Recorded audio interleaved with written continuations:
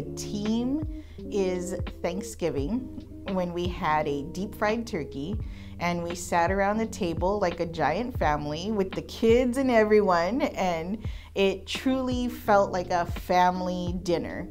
Um, and Michael carving the turkey and the whole deal, uh, you know, the sides, and it's just a good, happy memory that I have that really makes me smile.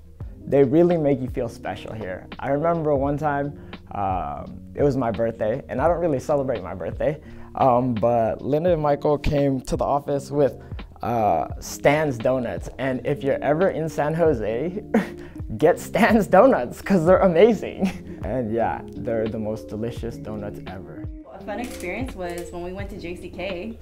Um, it was the first time I went to, it's in Las Vegas. We went with Michael, Linda, Brian and EJ. It was quite a fun experience.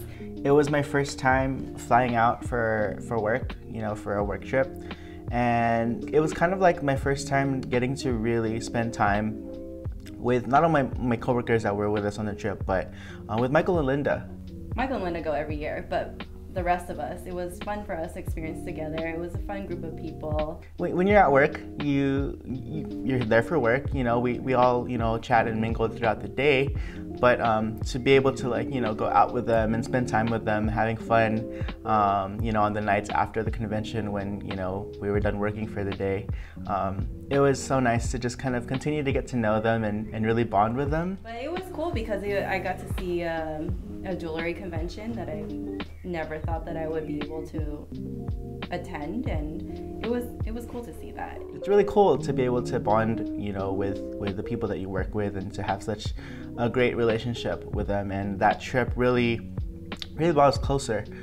Before we really developed our website and really uh, showcased everything that we have on there right now, we actually had um, Michael's ring designs that were made not technically for anyone practically to wear. They were really just fun designs that he made for just seeing if anybody would be interested in them because everybody has uh, you know everybody it's it's a it's a voice for every choice here right and he had whole safari animals trailing along the entire shank and I feel like after some time, Michael realized that we needed to clean up the website and um, archive those for another time. Maybe it is too early.